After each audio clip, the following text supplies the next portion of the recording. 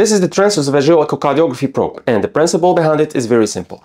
In transthoracic echo, we have probes with lower frequency. Lower frequency means that we can get deeper and explore deeper structures, but in a cost of lower spatial resolution. But in these kind of probes, we have higher frequency, and with this higher frequency, we can explore structures near the esophagus, like the intra-atrial septum, the atria, the valves, and the aorta, with much better spatial resolution. So we can detect smaller vegetations in infective endocarditis, we can detect aortic dissection, we can better assess valvular heart disease and intra-atrial septal defects, and also don't forget about the left atrial appendage thrombi in uh, atrial fibrillation. Very simple movement to know with this probe that every cardiologist needs to train before to use this. The more important one is to rotate it like this. You can also use the dials here, so we can control the head here. We can go with anteflexion, like you can see, retroflexion. We can use it also